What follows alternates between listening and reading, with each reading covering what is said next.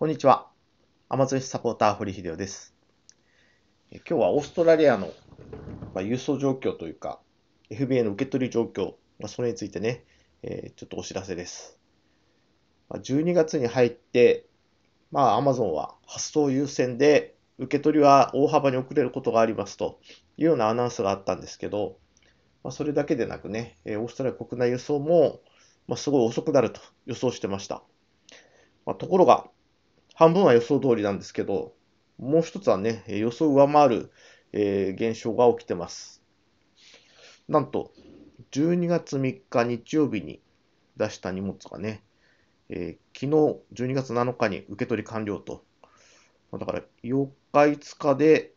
オーストラリアに届いて、で、もうこの2日、ね、で受け取り完了しているという例が一つ出てきました。あるいは逆にね、えー届いてるんだけど3週間受け取り開始にならないというのもあります。まあ、その辺の情報をね、えーどの、えー倉庫がすぐ受け取られたのか、どの倉庫がね、えずっと受け取り開始しないのか、まあ、パスワード記事の方で、えご紹介してますんで、え会員さんの方はね、これ確認して、え見てください。なるほど、そんなに違うのかと。ね私もちょっと速さの方には驚きました。受け取りね、開始設備放置の方はまあ予想の範疇なんですけど、まあ、やっぱりね、えー荷物が増えたんでね、受け取りもオーストラリア国内輸送もね、えー増強してるんだなというのがね、えわかる現象でした。また、